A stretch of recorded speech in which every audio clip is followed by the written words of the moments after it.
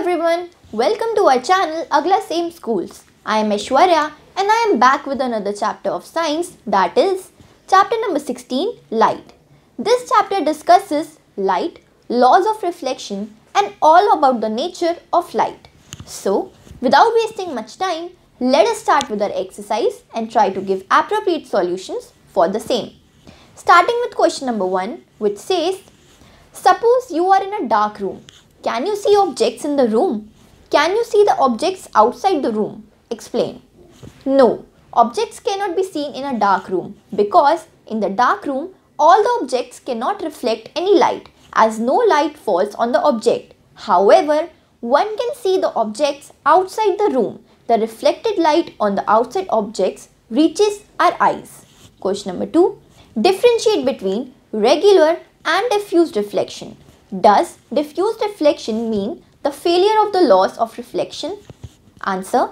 Regular reflection means reflection taking place from a smooth and shiny surface.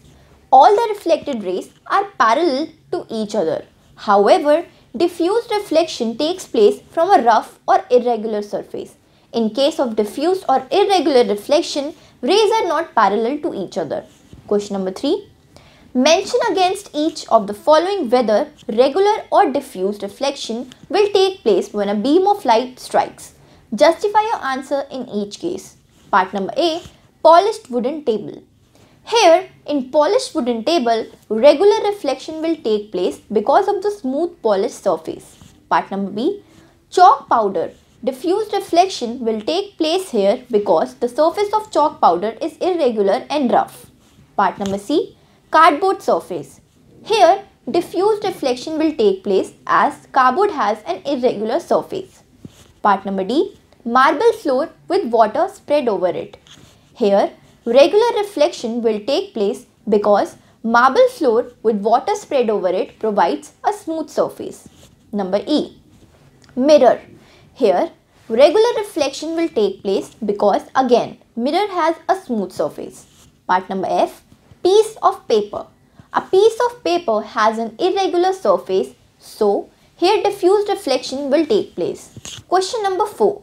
State the laws of reflection. Answer. Two laws of reflection are Number first, the angle of incidence is equal to the angle of reflection. Number second, incident ray, reflected ray and the normal drawn at the point of incidence to the reflecting surface lie in the same plane. Question number 5.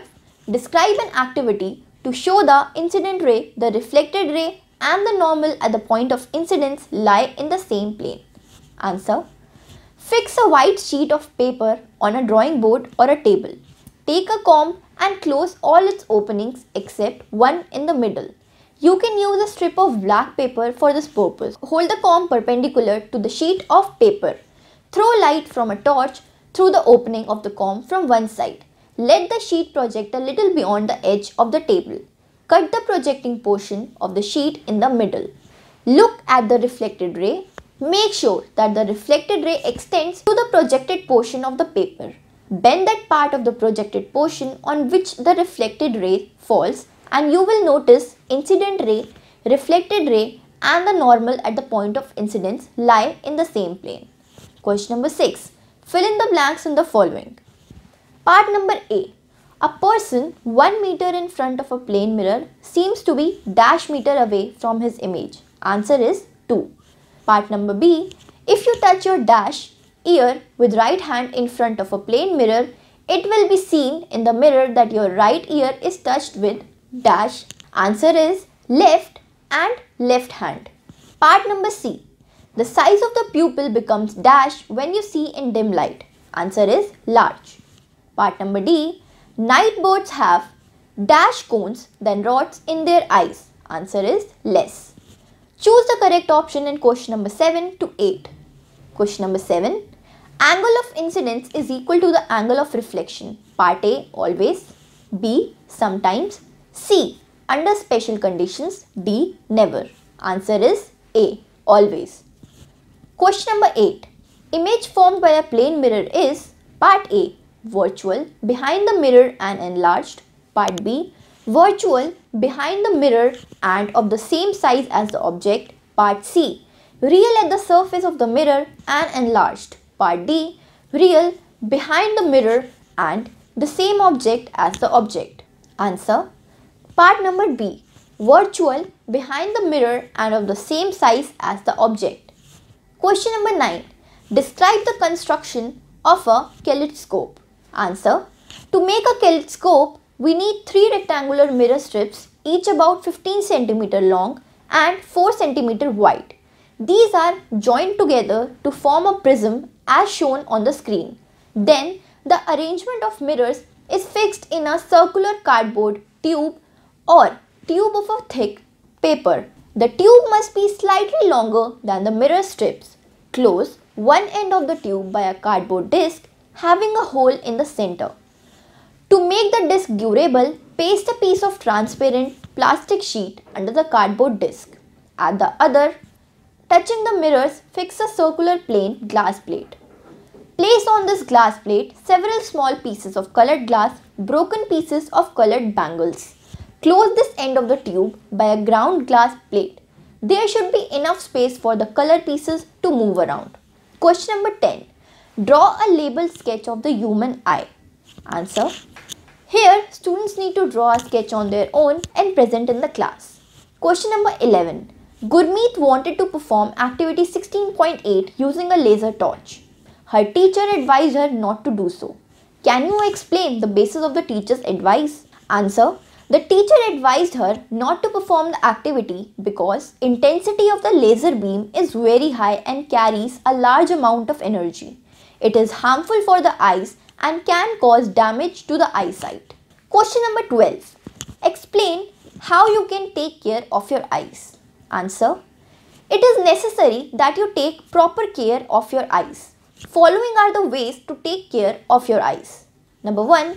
Have regular checkup. Second, if advised, use suitable spectacles. 3. Too little or too much light is bad for eyes. Insufficient light causes eye strain and headaches. Too much light like that of a sun are powerful. Number 4. Do not look at the sun or a powerful light directly. Next, Never rub your eyes. If particles of dust go into your eyes, wash your eyes with clean water. If there is no improvement, go to a doctor. And at last, always read at the normal distance for vision. Do not read by bringing the book too close to your eyes or keeping it too far. Question number 13. What is the angle of incidence of ray if the reflected ray is at an angle of 90 degree to the incident ray? Here, the angle of incidence will be 45 degrees. Question number 14. How many images of a candle will be formed if it is placed between two parallel plane mirrors separated by 40 cm? Answer. Infinite number of images will be formed if it is placed between two parallel plane mirrors separated by 40 cm. So guys, this was all for this chapter. Hope you liked the video and if you did, then don't forget to like and share this video with your friends. If you still have any doubts regarding this chapter, then feel free to ask us in our comment section below.